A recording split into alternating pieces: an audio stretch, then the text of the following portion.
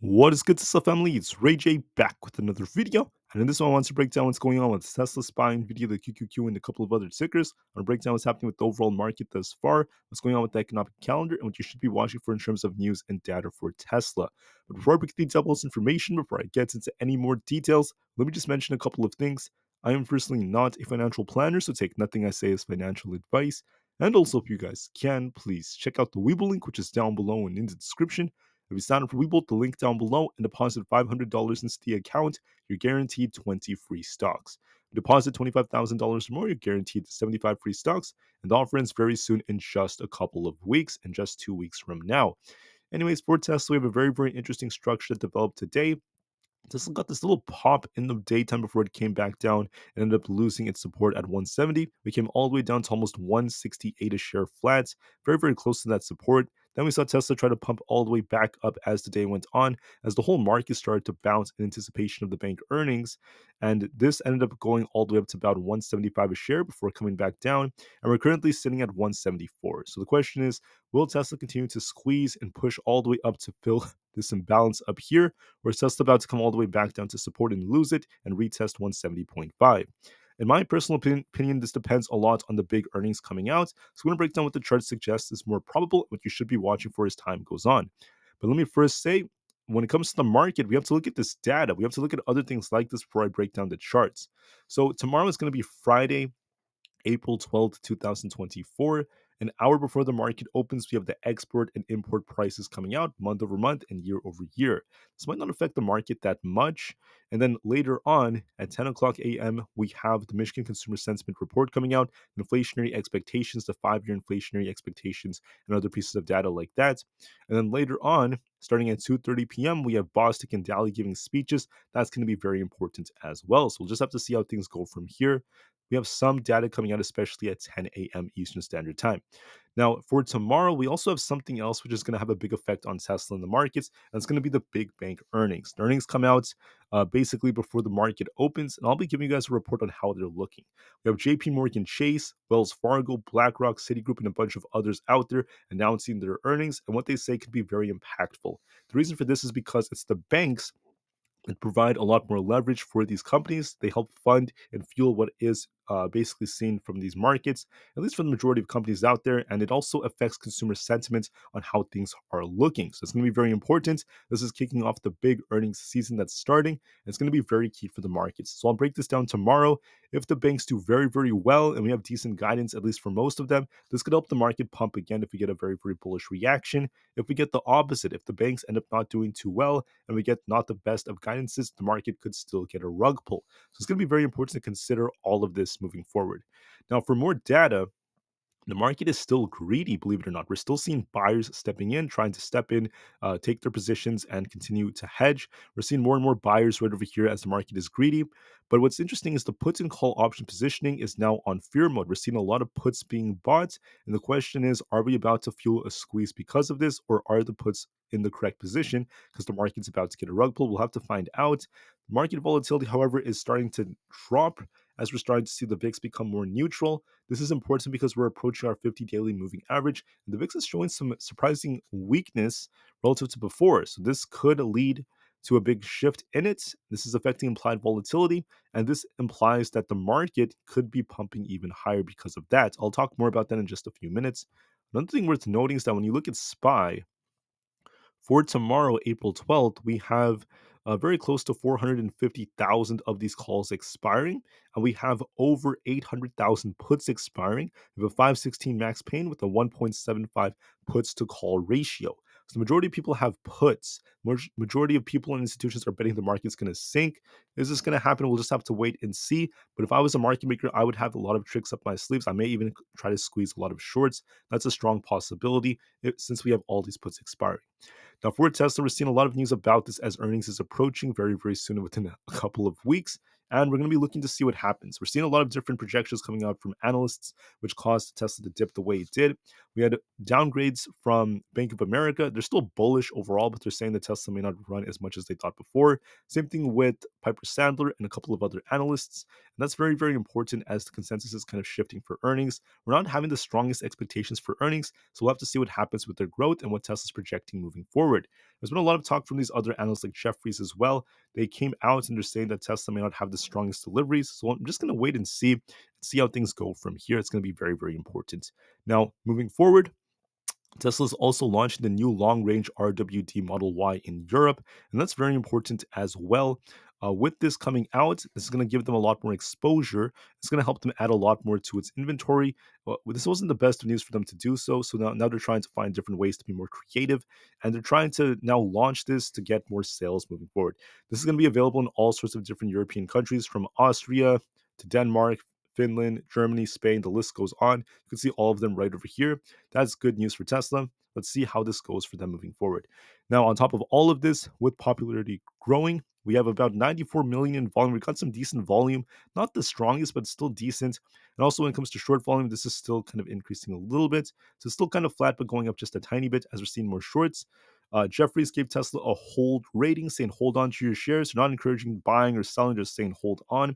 Piper, Piper Sandler gave Tesla an overweight rating, so did Morgan Stanley. So, so far, analysts have kind of like decent views, but they did end up downgrading their overall price targets. So they're still bullish overall, just not as bullish as before for most of these analysts.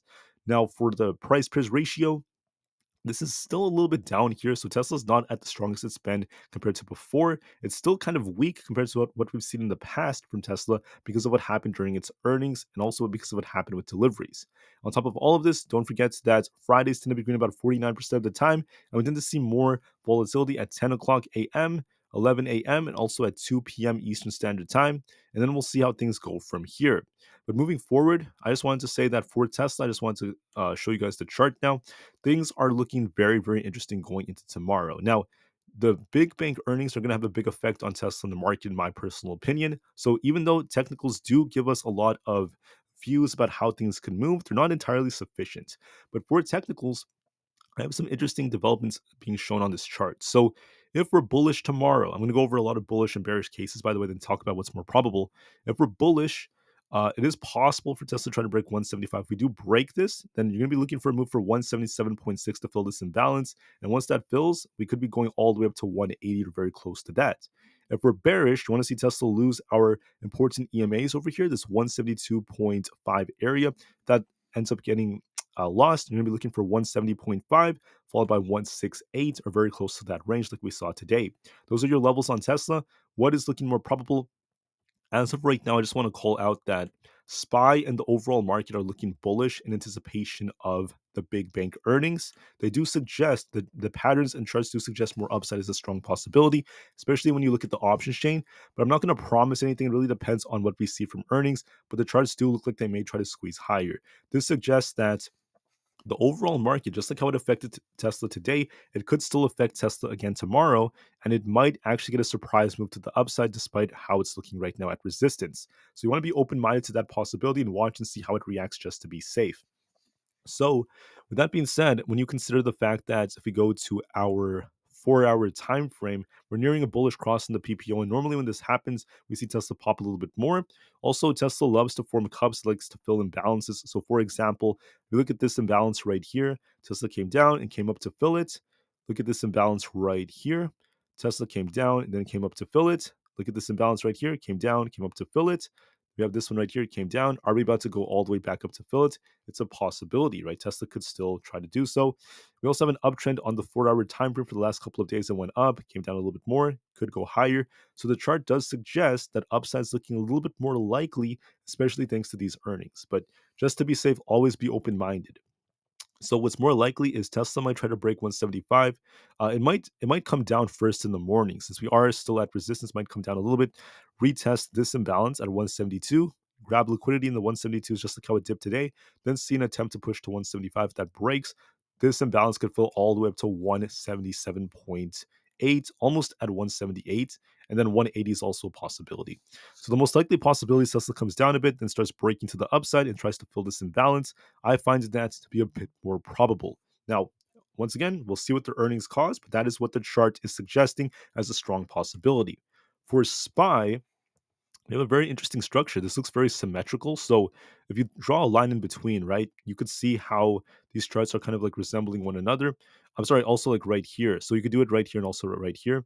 On this end, this is like for this imbalance. that shows how it could try to fill this imbalance. And then from this end, if you draw a line in between, notice how we had this like chop in between in the center. Uh, we have a double bottom like structure. This is our left bottom, this is our right bottom, and the move up would take us all the way up here. So it looks very symmetrical. So you could draw it that way. You could also draw it from like right here. Either way, it works. But what I'm seeing is if we're bullish, you want to be testing 520 and break that. If that breaks, I think 524 is coming. If we're bearish, you want to see it lose 516.5 to 515. If we lose that support, we're going to be coming all the way down to 512. Okay. I'm not calling out both sides to say I'm always right. I make mistakes. I'm a human. I'm not always going to be correct. In fact, I don't really know what the market will ever do the next day. I simply just give you guys assessments based off probabilities and such. But I just want to say, based off probabilities and based off the chart, the most likely possibility for SPY is the bullish case plays out. We may come down a little bit in the morning, retest 516.5, which is the 0.236 Fibonacci retracement, then try to rebound and push for 520. If that breaks, 524 is a possibility. I think we're going to try to get to at least 520, might come down first and push it for 520, eventually higher levels from a technical standpoint. But keep in mind, it also depends on these big bank earnings, so we'll just have to see just to be safe. But the chart does suggest more upside is a stronger possibility. For the QQQ, same thing. We got a nice little breakout. We do have this downtrend overall on the chart from the last couple of uh, weeks, but we'll see if the QQQ maintains this. Now we have a nice double bottom like structure, and we're seeing some buyers stepping in. Watch 446.8 as resistance, watch 444 as support. Could come down a little bit, then try to rebound and try to push higher into the 446.8 to 448 area. So I see a little bit of a rebound potential coming might retrace a bit first, might retrace and retest 444, if not a little bit lower than that. And then we could be looking for an attempt to get higher. Part of why I say that is because of NVIDIA and Apple. The QQQ does have potential to go all the way up to 446.8 and then 448. Uh, I say that because NVIDIA is looking like a monster right now. We got a very, very monstrous move all the way back up to 908. Watch support at 900 and then 892. We have this very important range. NVIDIA has been in this range many, many times before in the past. If we break past 908, we have potential to go up to 920.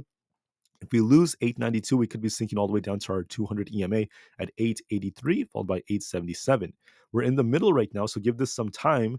But in my personal opinion, Nvidia is showing some strength. It might gap down tomorrow, retest 900, and then it might try to take off from there. But the chart is showing a lot of strength. It looks like it wants to go higher. Could even come all the way up to the 920 area. So it's showing life. Might come down first and try to push higher. So watch for that. If that's the case, this could help the QQQ. Additionally, Apple could also help the QQQ and SPY because when you look at Apple, we have the support at 174 around that area. If we lose this, watch 172.5. We also have resistance right over here around 175.75, then 176.5, then 178. I think that Apple might retest our 50 EMA, 174, and watch to see if it continues to break out because as of right now, we're looking strong. We broke this resistance and Apple is showing some life. Uh, I also want to note that we have this imbalance over here. So this could also get filled. And if you look at, let me see, the four hour, this looks to me like it's showing a lot of life. It's going to likely retrace to this support and maybe try to bounce. Going to be looking for that little dip coming before it tries to rebound. But this is acting as a magnet right now for Apple, trying to push it higher to higher levels. So I think Apple looks more bullish overall. It looks a little bit more bullish, may retrace a little bit first and then try to continue to push from a technical standpoint. But we'll see if we end up getting a confluence of support, a confluence of bullish indicators, thanks to what we see from the big bank earnings. But the charts do look a bit more bullish, in my personal opinion. So for Tesla, it's holding up nicely. Could it retrace a bit? Yes, it can. And whether it retraces or not will depend a lot on the big bank earnings. But technicals and the overall market does suggest that Tesla might come down a bit, then start pushing higher and try to break this resistance and try to fill this imbalance for one Friday squeeze. That looks a bit more likely, so we'll wait and see just to be safe. With that being said, let's talk about the other tickers I have uh, in store for today. On the four-hour time frame, Palantir is showing strength right now. Now, Yes, it could retest 22.76, but I do see an attempt for it to get up to about 23.11 if it keeps going. And if we lose 22.76, look, look for a bigger drop. In my personal opinion, I think there's a very good chance it's going to push higher. So I think that we could make our way all the way up to 23.11. I think that Palantir is looking more bullish. For Super Micro, it's showing a little bit of life, but it is retracing a bit. So it might retrace a little bit towards 927. If we hold that, look for a bounce back up to 950. If we lose 927, we could retrace a little bit more all the way down to about 915. But my gut is telling me the four hour is turning more bullish and this is going to reaccumulate come down and start pushing higher towards 950 so supermicro looks a bit more bullish we'll see how that goes might retrace a bit and try to push with nvidia rivian has come down quite a bit but i do think it's going to try to retest 9.8 for a little bit of a counter trend move just temporarily and we'll see if it rejects or not if it breaks past this look for 10 if not it's going to come back down so give this some time for sofi we're going to be looking for a move all the way up towards 7.73 that's going to be very, very key for it. Uh, and we'll see if this is forming a head and shoulders or not. Uh, it is looking like that from a technical standpoint, but it's going to be heavily dictated by the big er- the big bank earnings. Excuse me. The banks could launch this thing all the way up to eight dollars, or they could cause a big rug pull. I'm going to be very patient nonetheless. For AMD, the chart looks a little bit more bullish as we're trying to break past our 170 resistance at the 20 EMA. If we break through this, look for a push all the way up to 174. If we fail to break it, we're going to be coming back down. My gut tells me it might try to uh, push a little bit higher. For ARM, we're looking a bit more bullish. Could be looking for a push all the way up to about 130, 132.5 and higher levels like that. If we lose 128.8, we could start sinking, but my gut tells me it might try to push a little bit more. So ARM has more potential, uh, at least from a technical standpoint. We'll see what the big bank earnings give us. Coinbase is kind of stuck right now, so we have resistance at 262 or very close to that area. The issue with Coinbase is as we're at this resistance, I don't know for sure if it's going to break from here. It is showing some strength, but we have to watch for confirmation. If we break past 262, look for a push for 268. If we lose, if we don't break 262, we, we could be coming down to 257.6 and start sinking to 252 again.